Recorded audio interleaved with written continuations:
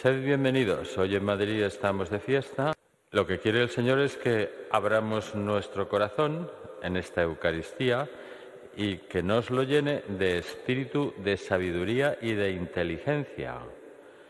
Que nos dé, dice la, la antífona de entrada, un vestido de gloria, que es el que dio a San Atanasio. Hoy celebramos esta memoria, obispo de Alejandría en Egipto en el siglo IV y doctor de la Iglesia.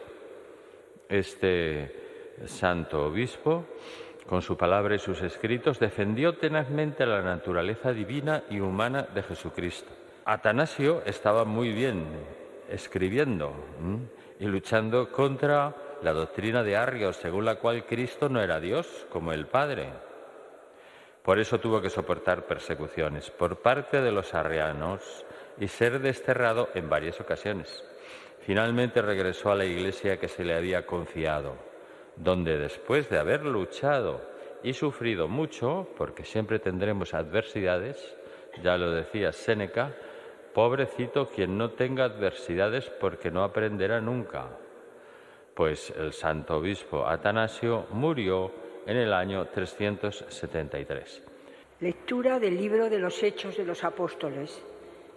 En aquellos días, después de una larga discusión, se levantó Pedro y dijo a los apóstoles y a los presbíteros, Hermanos, vosotros sabéis que desde los primeros días Dios me escogió entre vosotros para que los gentiles oyeran de mi boca la palabra del Evangelio y creyeran. Y Dios, que penetra los corazones, ha dado testimonio a favor de ellos, dándoles el Espíritu Santo, igual que a nosotros. No hizo distinción entre ellos y nosotros, pues ha purificado sus corazones con la fe. ¿Por qué pues ahora intentáis tentar a Dios, queriendo poner sobre el cuello de, estos, de esos discípulos un yugo que ni nosotros ni nuestros padres hemos podido soportar? No, creemos que lo mismo ellos que nosotros nos salvamos por la gracia del Señor Jesús. Toda la asamblea hizo silencio para escuchar a Bernabé y a Pablo, que le contaron los signos y prodigios que Dios había hecho por medio de ellos entre los gentiles. Cuando terminaron de hablar, Santiago tomó la palabra y dijo, Escuchadme, hermanos, Simón ha contado cómo Dios por primera vez se ha dignado escoger para su nombre un pueblo de entre los gentiles. Con esto concuerdan las palabras de los profetas, como está escrito. Después de esto volveré y levantaré de nuevo la choza caída de David Levantaré sus ruinas y la pondré en pie, para que los demás hombres busquen al Señor y todos los gentiles sobre los que ha sido invocado mi nombre. Lo dice el Señor, el que hace que esto sea conocido desde antiguo. Por eso, a mi parecer, no hay que molestar a los gentiles que se convierten a Dios. Basta escribirles que se abstengan de la contaminación de los ídolos, de las uniones ilegítimas, de animales estrangulados y de la sangre, porque desde tiempos antiguos Moisés tiene en cada ciudad quienes lo predican, ya que es leído cada sábado en las sinagogas. Palabra de Dios. Te alabamos, Señor. Contad las maravillas del Señor a todas las naciones Contad las maravillas del Señor a todas las naciones. Cantad al Señor un cántico nuevo. Cantad al Señor toda la tierra. Cantad al Señor, bendecid su nombre. Contad las maravillas del Señor a todas las naciones. Proclamad día tras día su victoria. Contad a los pueblos su gloria, sus maravillas a todas las naciones. Contad las maravillas del Señor a todas las naciones. Decid a los pueblos, el Señor es rey. Él afianzó el orbe y no se moverá. Él gobierna a los pueblos rectamente. Contad las maravillas del Señor, Señor a todas las a todas naciones. las naciones. Aleluya, aleluya,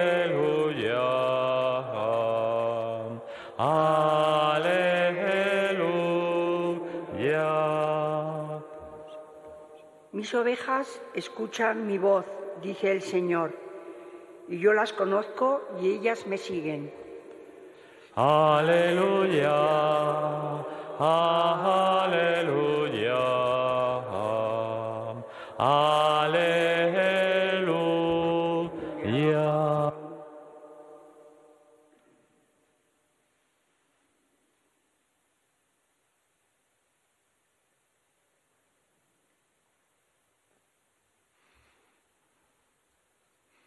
El Señor esté con vosotros. Lectura del Santo Evangelio según San Juan. En aquel tiempo dijo Jesús a sus discípulos, como el Padre me ha amado, así os he amado yo. Permaneced en mi amor. Si guardáis mis mandamientos, permaneceréis en mi amor, lo mismo que yo he guardado los mandamientos de mi Padre y permanezco en su amor. Os he hablado de esto para que mi alegría esté en vosotros y vuestra alegría llegue a plenitud.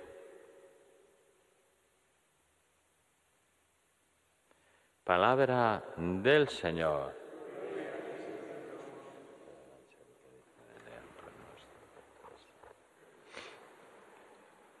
En este tiempo pascual, donde Jesús una y otra vez, una y otra vez, nos está recordando que hemos de cuidar y vivir la Pascua. Y la Pascua tiene unas características que hoy en la liturgia pues nos las hace ver el Señor, ¿no? Que es, yo las resumiría en tres palabras, paz, amor y alegría. Hoy el Señor se centra sobre todo en el amor y la alegría. Son como tres palabras clave que nos propone para vivir el Evangelio. Quien las lleva a cabo en su vida, según los criterios del mundo, es el Espíritu Santo. Si colaboramos con Él, entonces nos enfrenta con el Espíritu del mundo, claro. O sea, si lo llevamos a cabo en, en, nuestra vida no según los criterios del mundo, es que estamos siguiendo al Espíritu Santo. Y eso es muy importante. Sobre la primera palabra hemos hablado mucho. Ya hemos reflexionado reconociendo que el Señor no nos da una paz como la da el mundo, nos da otra paz, una paz para siempre. Y respecto a la segunda palabra, eh, el Santo Padre en su predicación nos hablaba la palabra amor. Jesús había dicho muchas veces que si el mandamiento es amar a Dios y amar al prójimo, nos tenemos que centrar ahí. O sea, el Señor encierra todo ese discurso, nos lo explicaba el Santo Padre y nos aconsejaba que fuéramos a mirar en el capítulo 25 del Evangelio de Mateo. En él se nos dice cómo seremos juzgados. Allí el Señor explica cómo se ama al prójimo. Pero uno tiene que tener muy claro, porque nos lo ha dicho hoy, cuál es este amor de Dios. Jesús nos lo ha respondido si le hacemos esa pregunta y ha dicho, como el Padre me ha amado, así os he amado yo. Por tanto, añadía el Santo Padre, es un amor que viene del Padre y la relación de amor entre Él y el Padre llega a ser una relación de amor entre Él y nosotros. Es el amor del Padre, el que hay entre las personas divinas. Ese es del que yo participo. Así se nos pide permanecer en ese amor que viene del Padre. Y luego el apóstol Juan seguirá adelante y nos dirá también cómo debemos dar ese amor a los demás. O, sea, o sea, así, amar al prójimo con ese amor del Padre es, por lo tanto, la segunda palabra que Jesús nos deja. Pero fijaros que en el pasaje evangélico de hoy Jesús dice una cosa nueva sobre el amor. No dice solo amad, sino permaneced en mi amor. En efecto, la vocación cristiana es permanecer en el amor de Dios, o sea, respirar y vivir de ese oxígeno, vivir de ese aire que proviene del Padre es el amor que tienen las personas divinas, el que yo le pido al Señor. Eso es muy grande, porque es infinito. Pero nos tenemos que preguntar, ¿y yo de qué vivo? ¿Qué respiro? ¿Vivo de la verdad o de la mentira? Porque si vivo de, de las tinieblas, como dice San Juan, tú eres tinieblas. No es que estás en tinieblas, es que eres tinieblas, porque no das luz. Por eso cuando alguien dice, no, es que sois los malos los que estáis en el fango, los que estáis creando el fango, primero mírate tú, mira qué pasa con tu vida, antes de hablar de las otras personas. Eso en los medios de comunicación es muy importante para todos los que trabajamos en ellos. Bueno, hoy además los apóstoles, en ese final, porque es casi el final del concilio de Jerusalén, pues San Pedro se levantó y dijo, no vayáis a exigir a los gentiles algo que el Señor no les ha exigido. ¿Quién eres tú para exigirle a los demás? Nosotros no somos Dios. Porque estáis tentando a Dios, lo dije, porque ahora intentáis tentar a Dios queriendo poner sobre el cuello de esos discípulos un yugo que ni nosotros ni nuestros padres hemos podido soportar. No. Creemos que lo mismo ellos que nosotros nos salvamos por la gracia del Señor Jesús. Luego, hemos de vivir de acuerdo con la verdad, en la luz, en, la, en, lo que da ayuda y vida a los demás, en la vida, claro. no en las tinieblas, no en el fango, no siendo fango. Benedicto XVI hablaba de este amor del Padre, el amor entre los, ¿eh? las tres personas. Y decía, en cualquier necesidad, ¿cómo se nota? ¿Cómo, lo, cómo está en nosotros? En cualquier necesidad y aridez, Él es la fuente de agua viva, que nos nutre y fortalece. Él en persona carga sobre sí el pecado, el miedo y el sufrimiento, y en definitiva nos purifica y nos transforma misteriosamente en vino bueno. En esos momentos de necesidad nos sentimos a veces aplastados bajo una prensa, como los racimos de uvas que son exprimidos completamente, pero sabemos que unidos a Cristo nos convertiremos en vino de solera. Dios sabe transformar en amor incluso las cosas difíciles y agobiantes de nuestra vida. Lo, importante es que permanezcamos en la vid, o sea, en Cristo. Perdón. Luego, eso es justamente lo que el Señor que, que miremos hoy. ¿Cómo estoy? ¿Cómo estoy de ese aire? ¿De qué vivo? ¿Qué respiro? ¿Y cómo estoy de ese oxígeno? Y de esa luz.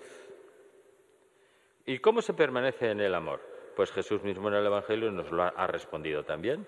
Si guardáis mis mandamientos, permaneceréis en mi amor, lo mismo que yo he guardado los mandamientos de mi Padre y permanezco en su amor. Yo sigo las luces que me da el Espíritu Santo, que es el que me lleva, siempre. No de las cosas que me dicen unos u otros, no, no, las que me dice el Señor directamente a mí o a través de las personas y las identifico. Claro, es algo bello esto, o sea, los mandamientos. Yo sigo los mandamientos en mi vida porque es unas marcas para saber si estoy permaneciendo en el amor. Hermoso hasta el punto de que cuando permanecemos en el amor, son los mandamientos los que vienen. Vienen solos, por amor, y aparecen en la vida. Y los demás ven el testimonio. Y el amor nos lleva a cumplir los mandamientos. Así, naturalmente, porque la raíz del amor florece en los mandamientos. Y los mandamientos son el hilo conductor que sujeta en este amor que llega la cadena que une al Padre, a Dios Padre, a Jesús, a Dios Hijo y a nosotros. ¿Y cómo me llega? Es el Espíritu Santo que viene, el que me da ese amor. Es el amor entre las dos personas, claro, el Padre y el Hijo. La tercera palabra que hemos remarcado es la alegría, lo dice el Señor también. Al recordar la expresión de Jesús propuesta hoy, os he hablado de esto para que mi alegría esté en vosotros y vuestra alegría llegue a plenitud. Pues podemos concluir que la alegría es el signo del cristiano. El Santo Padre nos lo ha dicho muchas veces, ¿eh? Mira a ver, porque no te estás mostrando como cristiano.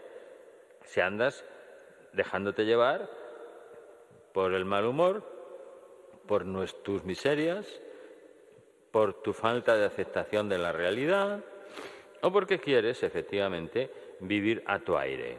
Y como eso no puede ser, pues te encontrarás con lo que te molesta, que está siempre presente. Un cristiano sin alegría o no es cristiano o está enfermo, decía el Papa. Su salud cristiana no está bien. No está bien. ¿Y cómo ando de alegría? ¿Sonrío? ¿Mucho? ¿Poco? Vamos a pedírselo hoy al Señor, Señor, que ponga buena cara a todo y a todos. Por lo tanto, tres palabras clave, paz, amor y alegría. Y no vienen de hecho del mundo, sino del Padre. Por lo demás, es el Espíritu Santo el que realiza esta paz, quien es el amor entre el Padre y el Hijo, y además el que nos trae ese amor que viene del Padre y que llega a nosotros. Y finalmente, quien nos da la alegría. Vamos a pedirle al Señor por intercesión de Santa María, esposa del Espíritu Santo, custódianos tu don. O sea, que el Señor nos regale y custodie siempre el Espíritu Santo en nosotros. El Espíritu que nos enseña a amar. El Espíritu que nos colma de alegría. El Espíritu que nos da la paz. Que así sea.